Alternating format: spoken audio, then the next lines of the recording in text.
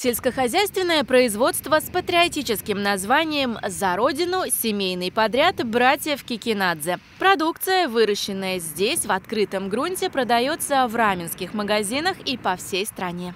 Ареал нашего обитания от Питера до Нижневартовска, он так и продолжается.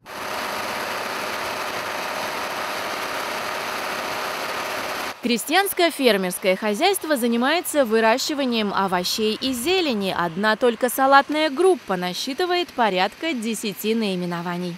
У нас э, посадок каждую неделю две происходит. И так будет происходить до начала августа.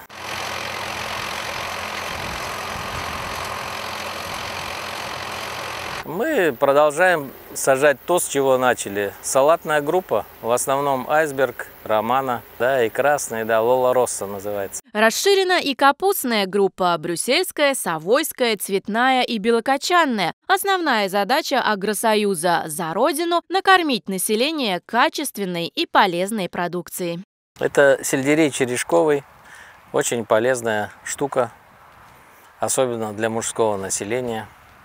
Будете хорошо выглядеть до старости. До 100 лет. Да, ну да. И иметь детородную функцию.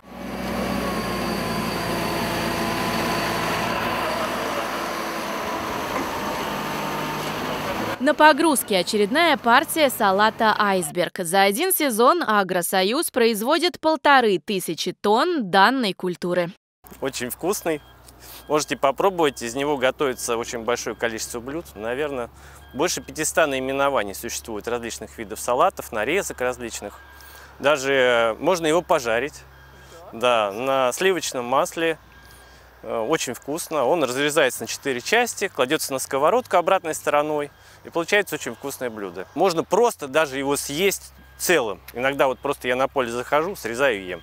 Романна, Лола Росса, Лола Бионда, Батавия, Фенхель, Сельдерей, Черешковый, Лук-Порей. Всего фермерское хозяйство «За Родину» производит порядка трех тысяч тонн продукции за один сезон. А начинается он 1 марта, когда в теплице высаживают рассаду будущих культур. Среди новых направлений хозяйства можно отметить выращивание рукколы и шпината очень нежная, которая требует быстрых каких-то решений. Вот у нас есть хороший комбайн, он срезает, и мы буквально там за секунды доставляем эту продукцию в холодильник, для того, чтобы она не испортилась. В дальнейшем э, думаем о каком-то расширении вот, э, ассортимента в плане бэби-лифов, к ним относится рукола шпинат мангольд. Есть у нас сейчас э, предложение от партнеров попробовать, например, крест-салат, ну, это как бы так, задумки.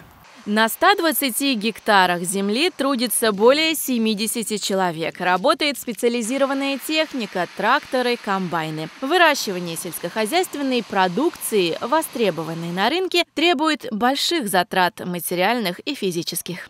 Это не тот предмет приложения сил, где там заранее все рассчитал, потому что тут столько всяких превходящих вещей, эм, тут без души и терпения, и как бы понятие, что ты должен поделиться с, блог, с, с Богом плодородие, это точно не обойдется.